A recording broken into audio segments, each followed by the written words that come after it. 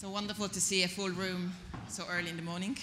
I hope you enjoyed the evening last night and you're ready for a very exciting uh, panel uh, to start the day. I would like to invite my panelists uh, to come up to the stage and so I can then introduce them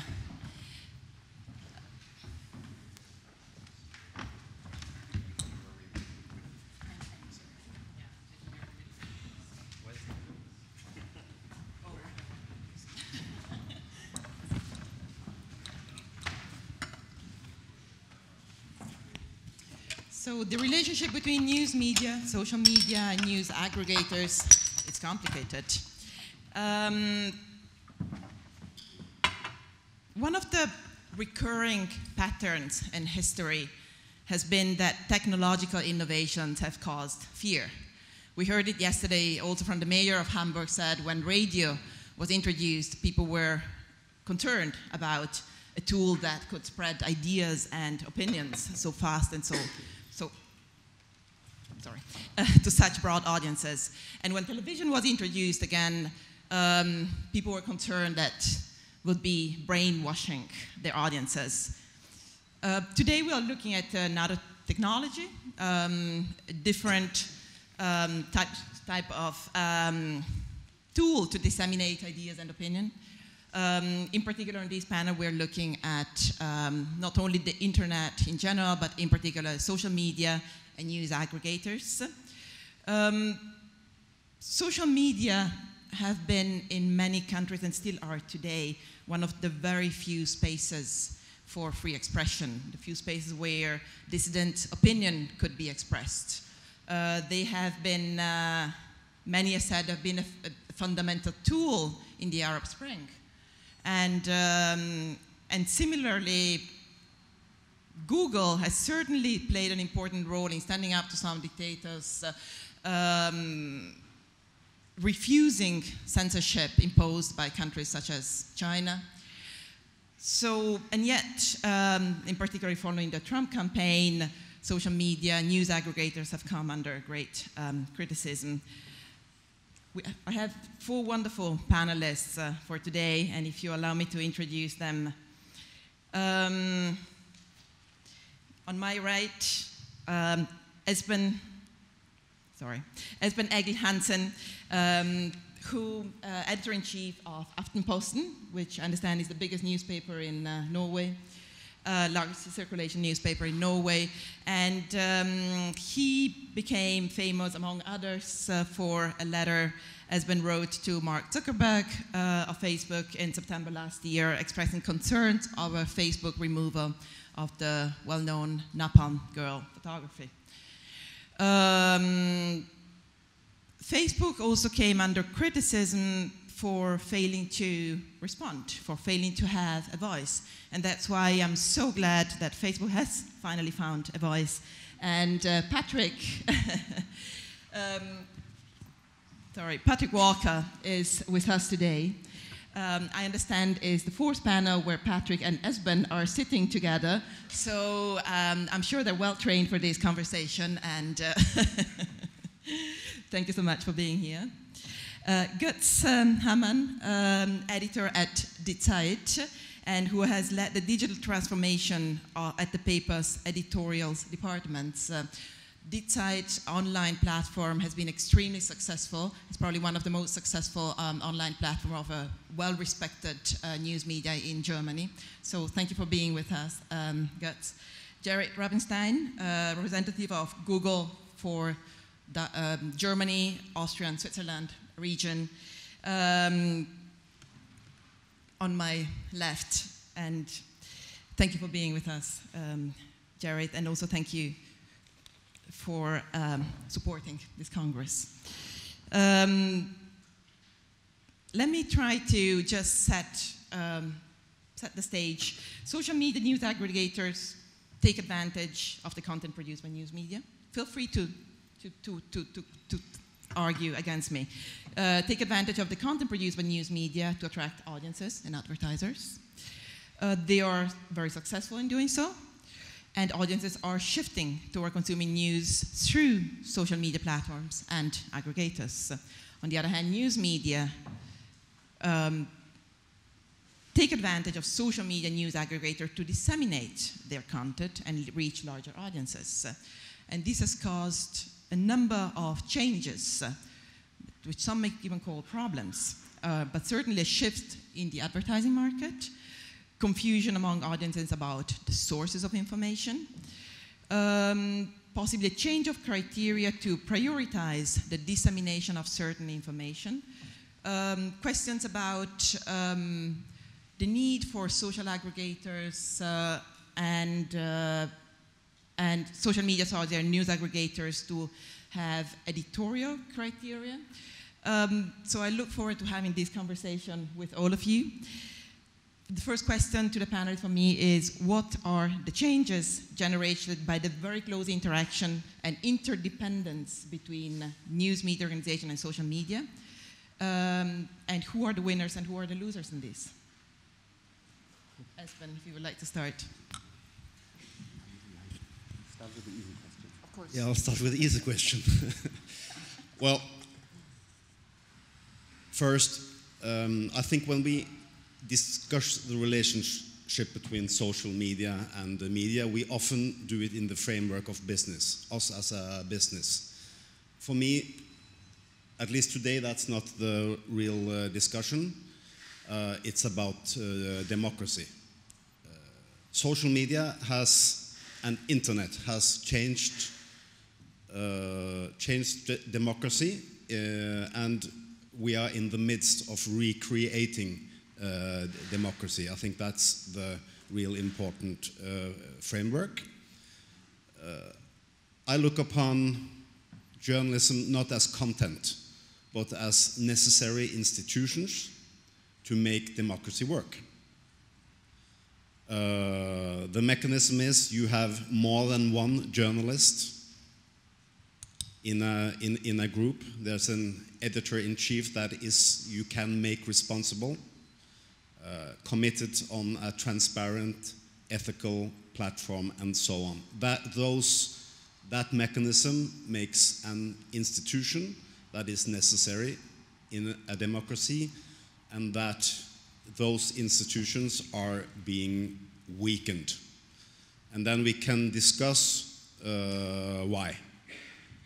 Uh, social media uh, and internet has been good for democracy. More people can speak out. More people are able to uh, particip participate. But on the other side, we also have seen the, the, the, growth of a few players in this market, Facebook being uh, the largest one, and with that uh, size uh, comes respon responsibility. Mm -hmm. Sorry, may I, turn, may, may I turn to you? What, what are the main changes you see, and uh, who is winning out of this, yeah. and who is losing? Um, so I'm I'm working for a glass half full com company. Uh, I think the technological change from print to digital to mobile has brought with it an enormous information wealth from journalism, from other sources. Everyone can speak their voice today via social channels, via blogs, etc. Um, I think we are still in the middle of a, a transition phase of a first chapter where this whole ecosystem of uh, actors that produce content, that distribute it, that host it, uh, still find their way. We sit in this whole game in the place where it's about information discovery, um, which is an important part that we play because there is so much information. Um, we try to bring information to the user for to answer the question the user has, be it a news-related question, a political related question, or be it an inv investigative piece uh, that a journalist is producing somewhere in the world. We try to put tools in place so that the user or that journalist can do the job. Um, I think it's, the picture is very complex and changing, um, so it's, I think we should go beyond the terms of winners and losers. I think um, we need definitely all our all, all, that we are part in this news ecosystem to work together to find sustainable models, how we best make that work for, work for everyone. I take the next question Ed, I totally see the challenges to the existing publishing business models, uh, but I'm, for example, here to definitely play a role in there. Thank you for that. Götz, if I may turn to you, do you feel that Gerrit mentioned that we are here to offer the users the information they look for? Uh, is that role being fulfilled and how that does interact with you, your experience as producing an online news platform? Well, first of all, the upside of uh, um, Google and Facebook existing is that we really reach new audiences, younger audiences. Um, uh, the reality is that um, Google and Facebook are, are not neutral, and uh, it's only good for us as long as they act as good hegemons. And uh, we're here to discuss whether they do so. I, mm, at the moment, I see um, our publishing house is, is, in, a, uh, is in a quite um, easy position because it's growing and we have the time to uh, use and uh, the, the, the audience we get through Google and Facebook and the attention and the money to, um, to gain digital subscribers. Uh, the downside is that, um, uh, for example, Facebook has changed its algo, uh, or it's changing its algo continuously. And it's not really um, just giving many hints in which way they do it. For example, two months ago, um, something has changed, and many publishers saw a dramatic drop in referral traffic. And we don't know yet um, uh, where it comes from and uh, what it was good for. So it's somehow, um, some of it is trial and error, and uh, it's um, not what I would call a really equal partnership. So that are some of the challenges I see at the moment. Thank you for that. Patrick, if I might turn to you, algorithms, uh, yes. the, the, the, big um, secret uh, or uh, the big question for everybody, Facebook algorithms. Mm -hmm. um, can you tell us something about it? Uh, is there, is there, what, what are the, the criteria used by Facebook to define the algorithms? Sure. Um, it's a really good question, and, and the algorithm is often brought up, and I think it's important for people to understand you know, the, the purpose of it as well. Um, the word algorithm actually means a set of rules meant to solve a problem. And what we're trying to solve for on Facebook is if you have lots of friends and if you follow lots of pages, uh, and if we just let everything uh, posted by those you follow come in chronological order, you would have a constant flow of probably thousands of posts per day with no rhyme or reason and, and no ordering that would be suitable for you, uh, particularly in a time uh, limited environment. So there's a real purpose. The problem we're solving is let's say you have 100, 200 friends, you would have 2,000 posts in your feed. If you follow just The Guardian, you'd probably have uh, 100 or 50 different stories, and that would probably be intrusive, and you might unlike that, right? So there's a real purpose to, to ordering it. Um, so the algorithm fo follows what we call our newsfeed values, and we, we publish these. Uh, we try and get as granular as we can, uh, but we also have a, uh, a, a, relationship with, with spammers and others that are trying to take advantage of it, so we need to make sure that we do keep it fresh. Um, so we focus on friends and family first. So if you're following your friends and your family, this is the original purpose and, and the way in which you're connecting on Facebook, and we're respecting that. Uh, we also focus on uh, things that are informative and entertaining, and we have lots of ways we can uh, adjust for what we see as informative. For example, has this article been read through completely? Has it been shared? Has it been liked? If it's been read through completely and hasn't been shared, that also is an important message. Maybe it's something sad, and maybe it's still valuable. So we want to make sure that we're taking into account these things. And it does shift and change over time, but we are and have been a lot, focusing a lot more on quality uh, based on these sort of signals that we get. Uh, and then, you know, there are, other, there are other ones that we publish, and we try and make sure we, we, we inform our partners when we do make changes. Um, but it is part of working in a very dynamic, fast-moving technology environment as we have to keep um, adapting to, in many ways, uh, surveys that we do every single day with tens of thousands of people asking them whether this uh, was useful to you. Mm-hmm. and then adjusting. Now, at the same time, uh, this isn't moving towards, uh, as some people have claimed, a lowest common denominator of uh, what uh, most people like, right? So we're focused a lot on, as I said, the quality. Uh, we're focused, uh, particularly over the last six months, I would say, on supporting um, quality uh, journalism as well as this is, as you said, the foundation of, of democracy.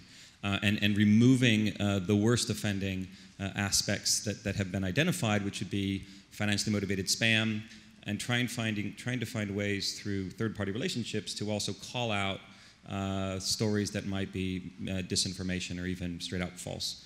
Um, so lots of things we're doing, and uh, I think the important thing to note is you know, we're entrusted by now over 1.9 billion people with their time. Uh, they're coming to Facebook because they find value. Uh, we are working with thousands of news and media organizations um, uh, because they also find value, and we take that place as intersection extremely seriously. Um, we don't always get it right, but I think the investment we've made in in teams and in markets, in the Facebook Journalism Project and the News Integrity Initiative. I can speak about each of these later. Um, I think we, we hope demonstrates uh, a real commitment to solving these problems because you're right, it's imperfect, um, but it's worth solving together. Um, may, may, I, may I follow up on this? Um, uh, there was another change announced, I think, a couple of days ago, and I, I think um, it, it, it, come, it, it's trying to sort out fake news and, and, and, and, and so on. Can you um, share with us some data about um, uh, what impact it has on, for example, uh, analysis compared to commentary or broadsheet compared to tabloid content? Yeah, I can't share data specifically on that on that question. What happens is when we make adjustments, we made one not too long ago to focus on uh, longer uh, consumption of video. So it wasn't about views, it was about uh, watch time. Uh, and for some that were uh, having high levels of viewership but not a lot of watch time, there was a decline. For some that had higher quality, longer videos, there was an increase. And so wh what some partners on one change might see as a net gain, others might see as a net loss depending on where they fit within that spectrum. So it's very hard to give specific examples on particularly for a particular partner. Um, but we have seen people adjusting as well to those changes. Because one thing our team does, people like Guido in the audience here in Germany, is we go and we work with our partners to say, these are the changes, these are the things you need to be mindful of. Because to be honest with you, a lot of organizations, even very well meaning um, media organizations, do tend to, for commercial reasons, go towards the signals that are giving them the best financial return, which aren't necessarily for us a quality threshold that we're aiming for as well. Does that make sense? If I may turn to Espen, um, Patrick mentioned quality a number of times. Quality is being one of the core criteria in the, in the definition of the algorithms. Um, and I would and I would add also for uh, Google News search. I think also using algorithms to define a certain uh, what appears on the first page. Um, is that serving the public interest? Is quality really what is coming out? Quality in terms of what from a newspaper perspective and a public interest perspective we expect our audiences, or should it even? I mean, well, algorithms are, not a bad thing. Uh, it's a good thing because it makes us. Uh, they edit. They do what we do. They edit. Uh, they uh, decide what content you will see in your news stream. We should learn from Facebook. We should build uh, more and better algorithms that are built on the principles of publishing. This is important. Just because you have been away for three days, we still think you should read this uh, article and, uh, and so on. So, however, algorithms are not a neutral thing, as many seems to uh, think. So, behind each of the multitude of algorithms deciding what ends up in your feed in Facebook, they are real people that have done real choices how to do it. And there, uh, there is a wish, there is a goal for each of the, of the uh, algorithms. And I think uh, Facebook and probably also Google should be more transparent. I understand the business side. You, you don't want to, to give away uh, what you do to your main competitor, which is not us, it's Google.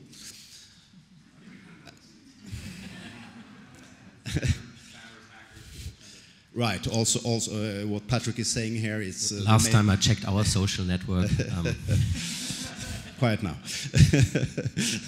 Sorry.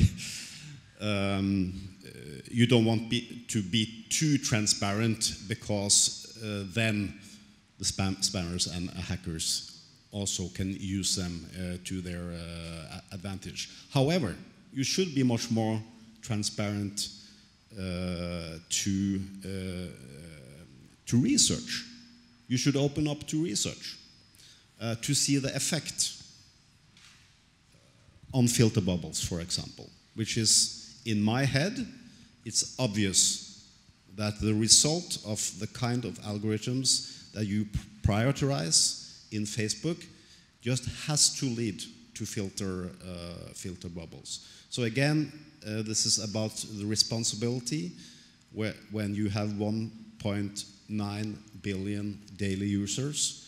You are today the main uh, medium uh, in, uh, in the world, and there's one person on top controlling the algorithms, Mark Zuckerberg. That responsible with that res- goes responsibility, and I think you should be a lot more transparent.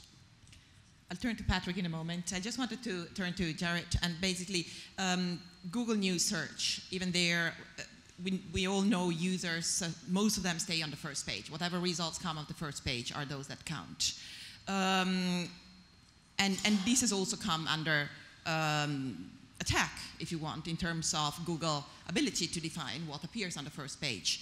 Um, what are the criteria used by Google to define their algorithms, and uh, are there efforts to improve them in terms of with, with a public interest in mind, or do you is public interest not the criteria? And uh, public interest in the, in, the- in the sense that the news industry uses it, not only whatever our audiences are interested in. So I'm, I'm not the algorithm expert. I'm the expert for the work that, that Google does together with journalism and publishing. Um, we get 3 billion search questions every day, 3 billion every day. 15% of those we have never seen before. It's a big number. And the, in contrast to, to social media, the task of the Google algorithms, there are many, um, is to give in that moment, on that place, to that user the answer. With all the search history, location history that that user has within his Google account. So, um, the task there is relatively simple. Does the answer does the answer answer the question? If not, we see it, we know that was a bad job. If that user never comes back afterwards because he's found it and stays on that website where he goes to, answer was apparently good. If the public good is part of that question or of that user profile, then it will somehow play a role. Um, if I may, and I'm sure Patrick will cover that question too, but shine, try to sh shed some different light on that uh, on that discussion because algo algorithms are one part of it, but overall, and that's why I appreciate that we talk about the news ecosystem. There's so many more factors that we have to take into account: business models, creation of journalistic innovation, reaching new audiences, engaging with readers across the globe. And uh, I think there are, especially if you look at the actors, for example, on this panel, there are so many questions that we could answer together.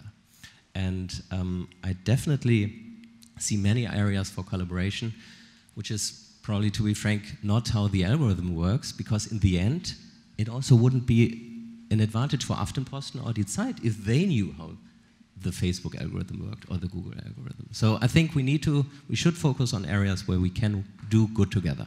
I'll come to that in a second. Google and Facebook collaboration with the news industry. Let me allow Patrick to. Yeah. Um, again, I think you know you're raising really good questions. I think I, I, I get this asked a lot, but I think again it slightly oh, the comparison between what we do and the very important work that you do and, the, and news organizations do is is vastly different. So um, everything that is posted by friends or people you follow, everything appears in your feed, unless it goes against our community standards for whatever you know, illegality or violence. So everything appears. This is the big difference.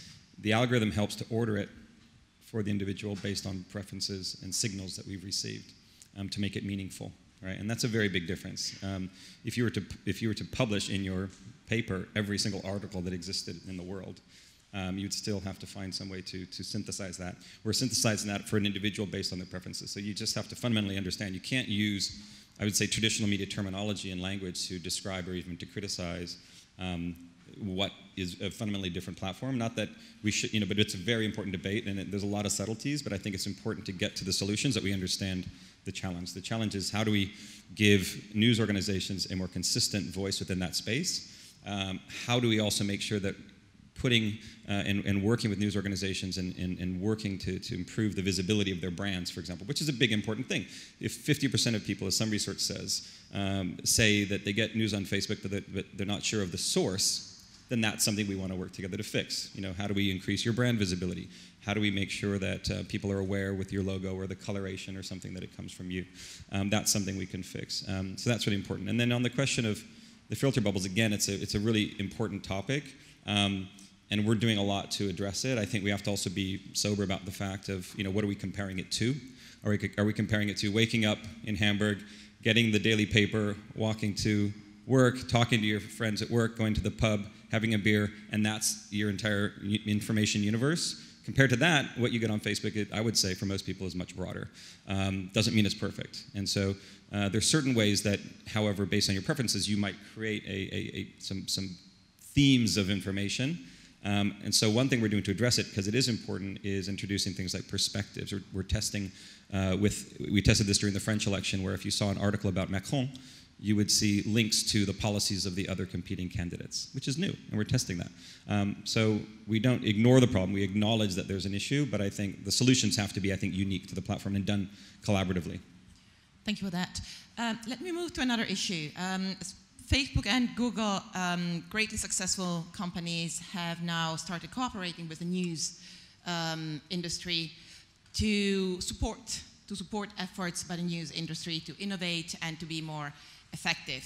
Uh, what it happens is basically, if you look at it in a cynical way, the funds that have been channeled to Facebook and Google and other platforms, but these two are at the table, um, through the advertisers or the, the, the, the, funds that have been lost from the news industry are coming back to fund uh, the news industry. I don't know if that that's how you see it, Götz, and how do you see this cooperation moving ahead? Well, um, as uh, I've worked in the business department of the paper for a long time, I can't really complain that a competitor um, is better in attracting um, advertising uh, not in general. So I would say um, uh, long as it doesn't cost us any um, independence, we should take the money and use it.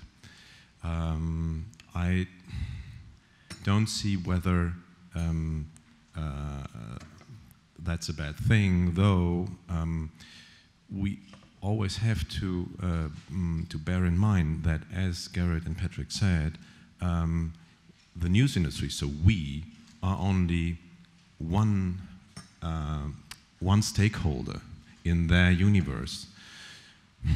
So um, we shouldn't get dependent on the, uh, the funds for innovation they provide, but um, we should uh, work together where it makes sense. And actually, if some publishers uh, would have taken their earnings 10, 15 years ago to invest it into innovation, we would, and not, well, have spent it for something else, we would be um, at a different point of the curve. So I'm, um, I'm not complaining, uh, but um, I would say we really have to um, uh, sort out well where we cooperate.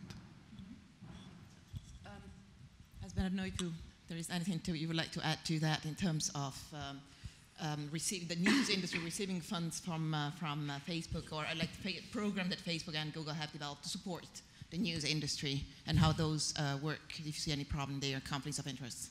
Uh, if we talk business here, then uh, what we need is business models that work. I believe we create more value for Google and Facebook than they found back. So uh, it's uh, uh, good content. Is a really important part of the news feed, and of course of Google. Uh, and I think the money that goes back to the industry. Now we're talking business. Uh, it's it's too it's just too little. So we have to found, find uh, ways to do that do that better. More money has to go back uh, to uh, to the creators of uh, content. That's not an easy question. I under understand that, but I think uh, that's a job that needs to be uh, done. And uh, until that is in place, I will keep and I think the title of this was the social media and um, and traditional media. It's complicated. In that, in, in that there is a little hope. Uh, complicated. It's not a non-relationship. Uh, it's not a full marriage. It's a little complicated, uh, and uh, we have to work on that. I, I if if uh, if you, if you go to bed with an elephant and it moves, you are in trouble. So uh, I keep a little distance here. Götz, if you want to comment on that. um, yeah, well, I, I, I, I couldn't agree more. Mm, what if we talk about the advertising business? We we should talk. We can't do it uh, in depth today, but we should talk whether there are uh, incentives um, set by Google and Facebook that we can't compete with, and that are near to well um, unfair um, practices. I, I would say that um, there's always changing the mindset towards programmatic has um, done um, damage to uh, the publishers and beginning to do damage to television in a way that we wouldn't have seen it if Google and Facebook wouldn't have been so good in lobbying and working so well together with media agencies. So um, I don't. I think that's that's part of the truth. Though I wouldn't say I, um, we should not complain because we are bad lobbyists, um, and we have well. But still, there are some some there is some there's some imbalance we can't um, uh, be happy about. Gerrit, I see you wanted to, to Yeah, answer thank that. you. We have, we have different jobs. One of our job is selling advertisements. We work together with clients and agencies, also with publishers to deliver advertising technology.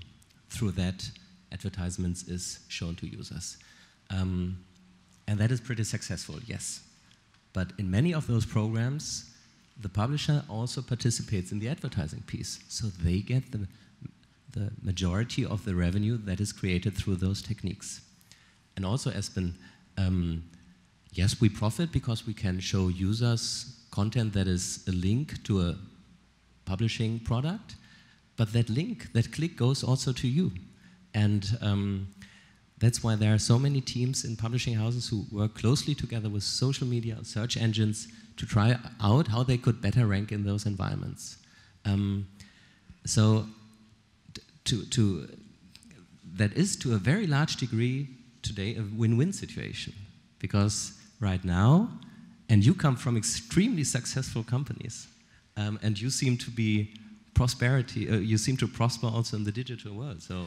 Well, we have to, yeah, that's true, but still we have to acknowledge that there are some reports out in the US and Great Britain that from every dollar or euro that just uh, is spent in programmatic, only 25% just um, uh, reach the publisher.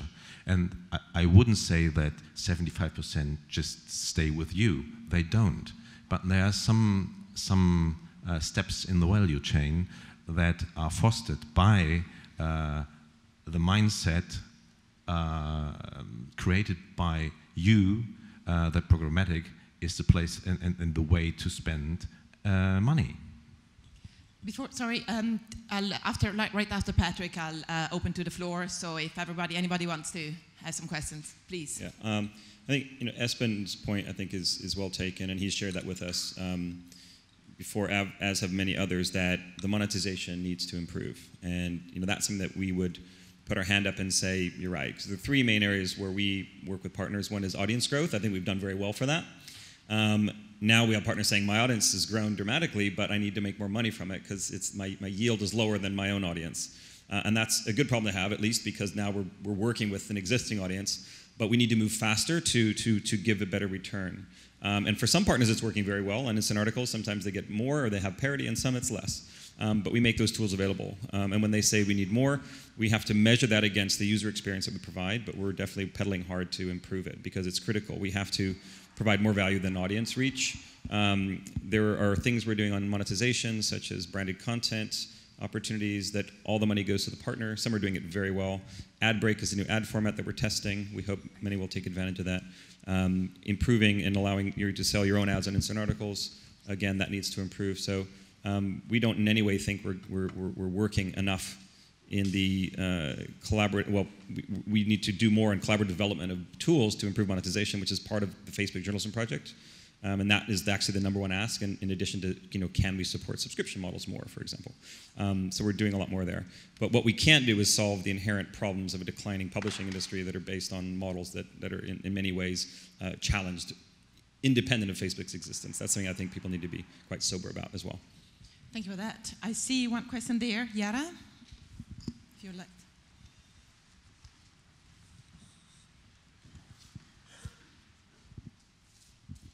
Thank you all. I'm Yara Bader from Syria, and you are very all obviously high qualified professionalism and polite. And uh, when it's like this, I feel a lot of words I cannot understand. And let's do it in Facebook way and make it some emotion so I will be a little aggressive, if you allow me.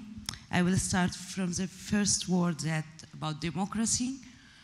I, I, I will say I'm more afraid that we are not, in fact, going to more democracy. I would feel we are actually facing um, more isolation because, uh, especially probably Facebook, and it, it give um, it answers this need for communicate. It's basic human need, but also give you the option to communicate only with the people who are like you.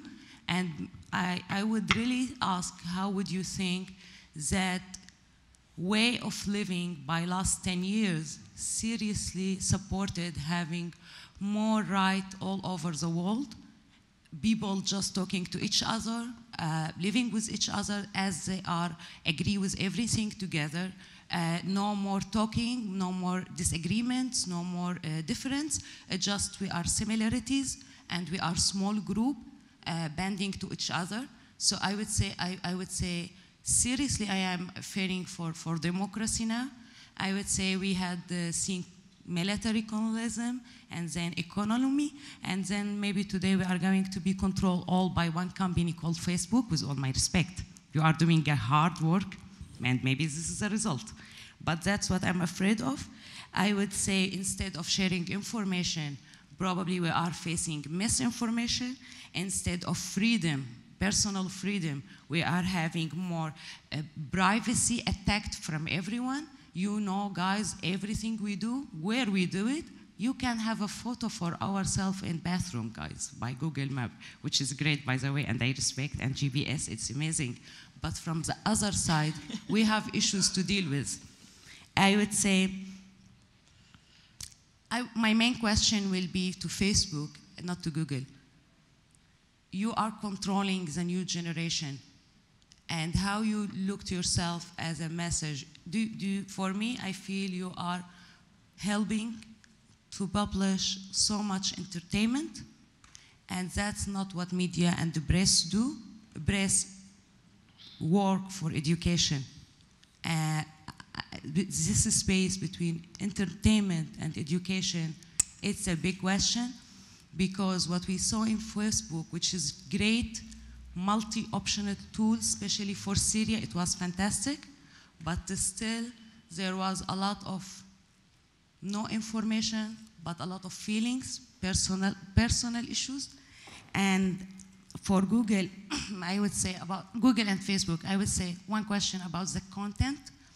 Like for example, first point for Google, um, when I want to open an account on Gmail, I have the agreement on English. And you know, in Arabic world, for example, few people know English. Maybe this is not your fault, but just from kind of respect if they can read it in Arabic? Even though they don't have the option to say, no, I don't agree. It's just one agree. But still, if they can read it in Arabic, that will be very respectable for millions of people who read in Arabic. Last question to Facebook. When you decided to take the uh, photo of Phan Kim Phuc from Vietnam, 1972, in September 2016 from Facebook because she was naked, what, what kind of methodology you, you do to control content? Because I think this photo is international press heritage and it should be out of reach for anyone. It's for, for the new generation and I don't think it, it humiliates anyone Thank- to see it because this was fact and it changed history. Thank you Um, for that. thank Maybe if I can take one more question before giving the floor back to you. If I, Second. Hello, I'm Edward Lucas, and The Economist, and a columnist for the Times of London. Um, if you click on a link and it's going to take you to a website that will infect your computer, Google provides a very handy red screen. It used to say, Yes, I know what I'm doing, but they discovered that most men confronted with that button click on it. And so you've now redesigned it, and it says um, it deter- it's very successful, deters you from going to these um, websites, also to phishing websites. My question is whether um, you and Facebook and the other platforms shouldn't be doing more on this um, in terms of advising, giving people more clarity about what they're cli- clicking on. Because at first sight, all news sites look pretty similar, whether it's a completely bogus one like USA Politics Today, which is designed to look like USA Today, or whether it's the real thing. You have, with your algorithms, the ability to see does this website have a street address? Does it have a phone number? Does it print corrections and clarifications? Does it have real people working on it? All the things that are indicative of real news. These are things that it's quite hard for individuals to, to, to find out on a regular basis. It's just time consuming. Why don't you give us better signposts about what we're clicking on? That's, that's a really good question. In fact, um, we've done a lot of work on that. That's something that came up at the end of last year after the US election. It's part of our Facebook journalism project and the News Integrity Initiative. A couple things we're doing because it's, it's super important is technologically with our algorithms um, and artificial intelligence, we can, I, we can look and find uh, whether there's any sort of history with this publication, um, whether it has a history of, of, of people going and, and, and, and rejecting that very quickly. And so those things get deprecated. In many cases, we find that they're against our ad policies, and they get removed altogether. Um, the worst of the worst comes down. Um, we're also finding ways where we don't want to use these tools of, say, a history to um, make an independent journalist who started their own page have, have, a, have less of a voice, so we have to be careful not to, to hammer out uh, the independent voices that don't have a history, that might look like something that's meant to deceive. Um, and so that's why we're also looking to, to create different ways in which we can have signposts. We have verification ch- checks and so forth. So there's a lot of work going into it. It's, it's really important, and it's important that we get it right. Um, it's a game of kind of whack-a-mole. You know, we have to try and fix one thing, and somebody pops up somewhere else. If you're interested, we, we, we published a, a white paper called "The Information Operations" um, about how people are trying to use these platforms to deceive, and it's, it's quite informative and interesting. I think April 27th it was published. Information Operations, um, some great information there, um, but a lot of hard work's going into it because it's important. Um, very briefly on the Terror of War, and I'm going to like speed round. Um, that was something where we had made a mistake. We didn't make a mistake removing the, a photo of a, of a naked child. That goes down anywhere, and I can appreciate, you can, I'm sure, appreciate why. Um, but when it, we were informed, and Espen was correct to call us out on this, um, as was the culture and, and the, prime, the prime minister, um, there was a newsworthy exception there. There was, a, there was an exception based on newsworthiness that they had identified, and the context was correct. And so we made an exception. And since then, we've actually changed our policy. So they were correct. We made a mistake. We've changed our policy, and now we have teams that will look at something that, um, first of all, we know who the partners are, and we can have a phone call if, if we see something come up. Second of all, our teams are better trained. Third of all, we have more teams in place. You saw now we've added 3,000 more content operations people to our hiring roster. Um, but we want to get it right. And when we make a mistake, we're not afraid to say why uh, or, or, or, change our policies. I think the third one, I, I, I, don't know if I agree with you or if necessarily other people would agree with you that Facebook is only a place for entertainment and, and lightheartedness. Um, in fact, uh, you know, even just looking at the partners that I have spent time with and that I travel around to see, whether that be with Al Quds Network in, in, in the West Bank, who have millions of followers on Facebook, and that is their means of communicating uh, with their fan base, to Channel 4 News, which has gone from 5 million views on video uh, per, uh, per month to over a quarter of a billion views per month on Facebook. And this is good, solid journalism. This includes a, a video of, a, of somebody in Syria that was produced in Syria that had 60 million views. So the same technology that I think people fear and, and question and, and feel some angst about is the, is the technology that allows information to spread globally instantaneously and to solve really big problems. So we have to make sure, as Mark said in his 5,700 word manifesto, which I'm sure you've all read, um, we have to make sure that we focus on the things that are good, but we mitigate the things that are bad. We also recognize that just making people more connected isn't necessarily a net positive, and that's a big learning for us, and we have to do better. Um, but we hear you. Gerrit, if you would like to. Th thank you very much for um, making this call to action for uh, technology to play a more active role for, for democ democracy or the, the, freedom of the press. Um, it totally resonates with me. Um, as, so my company doesn't have, have all the answers there, right? Uh, so what, how we could do more to, to, to support uh, freedom of speech and, and democracy worldwide. Um, that's, to be honest, also part of the reason why we created this digital news initiative, where we try to support people, for example, with a fund of 150 million euro, to come up with their own ideas, how that could work, how journalism, technology, and really new ideas could come together. And uh, we are happy there that we have the, the means to, to support people who have more creative ideas. And another pillar of that, what we do there is we trained in the last years, uh, two years, 30,000 uh, journalists in Europe so that they can do a better job with technological tools. And um, those, we, we do those things because we believe in the value and because we see the need. And um, please allow me to repeat myself. If I think in the ecosystem we all play different roles and we should come together and, and do that in an orchestrated way. Thank you for that, Daoud.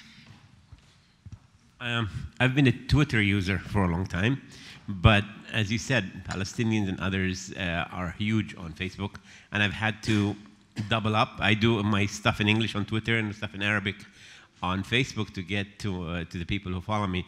Uh, I have a few questions. One of them is the 5,000 rule. Why is there a rule of no more than 5,000 uh, friends, uh, unless you turn to a page or something like that, which has its own problems for me? Uh, secondly, I, I, run a small community radio, and we do very well on Facebook. We have huge engagements daily, but there is no monetization for us. I mean, we, we would like to have, as was suggested, some kind of a, a return, at least to, uh, to help us as a, as a small independent organization to survive in this very, very bad economic situation. Um, I'm not sure about the 5,000 rule. I think we want to make sure that people are differentiating between a public figure or a, an organization and, and, and, a private individual. And that's why uh, we, we, we, try and make that distinction. I think sometimes um, we've also had instances where, where private people have get, grown so many friends that um, you know, they, they are actually public figures that are still trying to act like a, a private person. So I don't know exactly the detail behind it, but, it, but it's good you raise it. On the monetization point, we talked about this a little bit. Um, there are tools available to you. Uh, branded content tools are, I think, the most robust for, for small organizations. There are lots of organizations like, Onid, what's it pronounced, Onideo in, in Turkey. Uh, they are like the BuzzFeed for Turkey, and they're, uh, or, or, like the Unilad in the UK.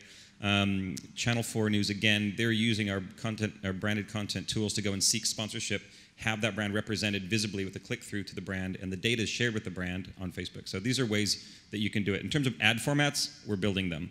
Um, su su support for subscriptions, you can do that through the call to action in Instant Articles. Um, can we do better? Yeah, we can do better. I think one of the challenges for small news organizations or local news is that you need a lot of scale for advertising, and you also need a lot of traffic to convert for subscription.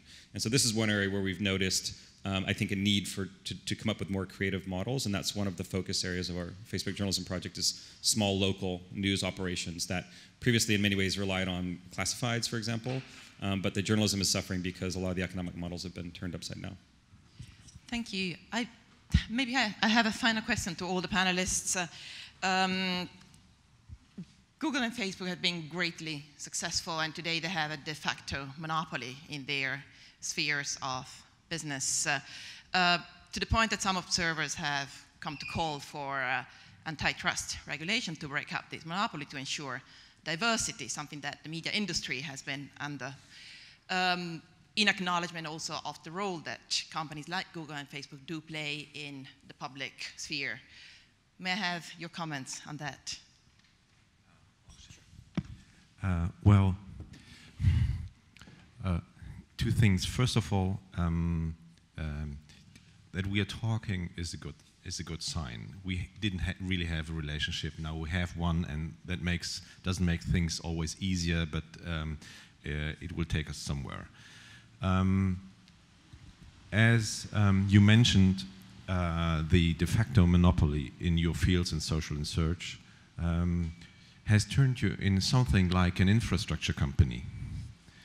And we have experiences in how to, well, regulate and correspond as societies and, and states with infra infrastructure companies. So I believe that um, there should be somehow an institution in Europe uh, that builds up um, intelligence and experience in um, uh, well social and search and acts as a regulator so both sides society states and companies do not have to wait for example four or six years between a conflict and a solution. Uh, this time it was a fine of 110 million, but there's no, that's not a working uh, relationship if, uh, if you have six years in a, in a landscape that is moving so fast. I don't think that uh, regulation always has to be much harder. In some ways, yes, in others, no, but we have to get into a different landscape in terms of that. I believe. Gerrit, do we need new rules? We are, we are working together with every institution, be it the CARTEL office in Bonn, be it the European Commission. Uh, we discuss new rules, we discuss our role. Uh, we are completely open and share the information that are asked from us. Um, I have to contradict, nevertheless, uh, this term of monopoly. We are in an extremely competitive environment here for advertising, for reach, for attention. So yes, we have market positions that are not too small, I agree. Nevertheless, if someone looks for to, to buy a hair dryer, he searches for that on Amazon. If he looks for, for his friends' posts, she goes to, to, to Facebook. If that person looks for, for a news article, she might end up on Twitter or Google. So, and this is only the international level. You have all the local players. So it's such a rich environment out there. And um, definitely we play our role, we answer the questions. Nevertheless, I see lots of competition everywhere. Edmund, you have called for new standards. Uh, do, you, do, we need new rules as well? I think it was interesting yesterday that the EU Commission uh, fined uh, Facebook for not coming forward with uh, information that data between WhatsApp and Facebook could, could be, uh, could be merged. I think in the future there will be discussions like should really Facebook be able to also own WhatsApp, Instagram, Messenger, which are all four uh, among uh, the 10 biggest mediums uh, in, in, in the world uh, in amount of, of, uh, of uh, users. That's one kind of more traditional discussion. However, I, I, I don't think uh, you said it was in effect a monopoly. It's, it's, I think you cannot use existing uh, language and uh, regulatory uh, for defining what is a monopoly on businesses like Google and uh, Facebook. So if we are in a standard oil situation, it is also very different from what it was. So they, they, broke up Standard Oil uh, or, or, US, but they will not break up uh, Facebook. So just give you an example of this new kind of power that we have never, never seen before, uh, which I call uh, the power to launch.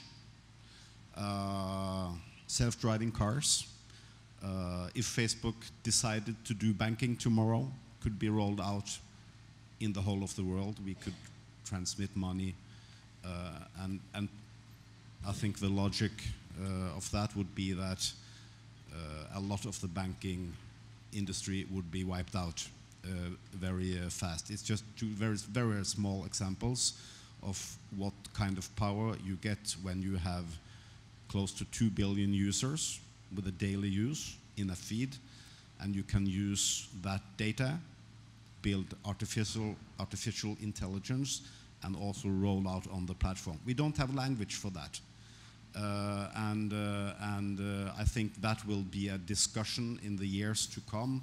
How do we ha handle that? Is it, is it a good thing? Probably not. So, what do we do?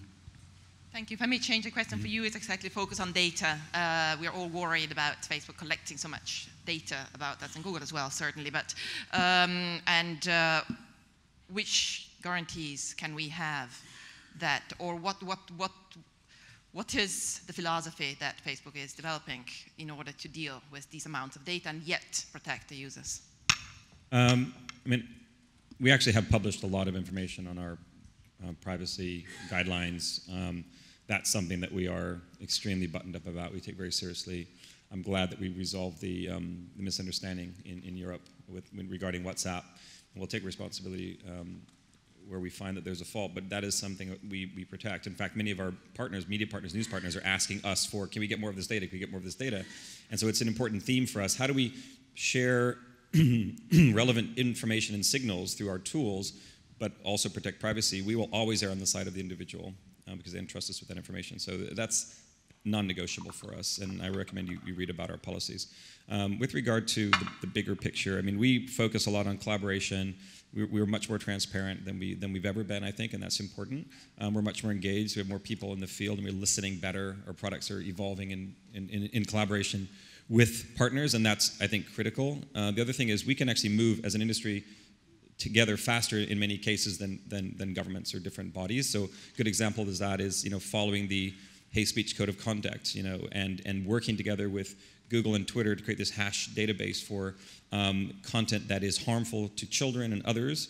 That if we find something in our system, we put that into a central database that is then shared, and before it even appears on Twitter or, or, or Google, it, it, it, it's, it's dead in the water. So we can develop technologies together through open collaboration, and I think that's a, a better route, and we're very much focused on that. Thank you very much for that. Are you willing to work with the IPI to address the issue of attacks against journalists uh, on social media? We're happy to, to discuss that as well. You guys should join our News Integrity Initiative as well. Absolutely. Thank you so much for the, to the panelists. They will still be around, and I encourage all of you to uh, ask more questions and engage in conversation. I'm so happy that you all came here. It was a wonderful conversation. Thank you. Thank you. Thank you. Yeah.